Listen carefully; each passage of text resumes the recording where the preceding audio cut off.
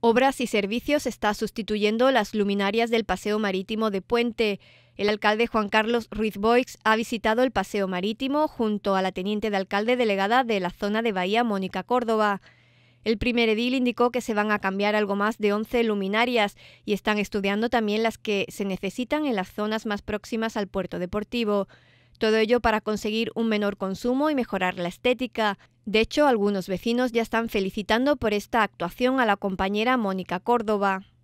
un cambio de luminarias para favorecer la estética del paseo marítimo de Puente Mayorga y también el menor consumo en esta zona del paseo marítimo donde se van a cambiar algo más de 11 luminarias, estamos todavía estudiando cuáles las que son necesarias en la zona de paseo marítimo y de la proximidad a lo que es el puerto deportivo y todo ello en este caso para mejorar el consumo de forma que tenga un menor coste para mejorar la estética porque ya estos ovnis como le llaman los vecinos esta eh, posibilidad ha provocado que algunos vecinos ya estén felicitando a la actuación a la tenencia de alcalde delegada del área de la bahía mi compañera Mónica Córdoba y vamos a seguir progresivamente con el reto de que durante los próximos cuatro años hasta el 2020 podamos tener toda la iluminaria del municipio de San Roque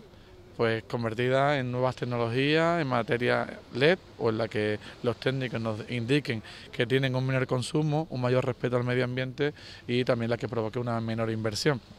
Ese es el reto principal. Durante el gobierno que yo he presidido hemos actuado en Torre Guadiaro, en Guadarranque, en el año 2012. Luego ahora mismo, alrededor de los fondos que contábamos del Plan Invierte, la Diputación Provincial de Cádiz, hemos actuado en Barriada de la Paz, en Barriada Nazar en Puente Mayorga y en el Valle del Guadiaro en el recinto ferial y ahora seguimos realizando actuaciones menores, en este caso con fondos de la Delegación de Obras y Servicios para seguir sumando, aunque sean tramos pequeños como es este caso del Paseo Marítimo de Puente Mayorga.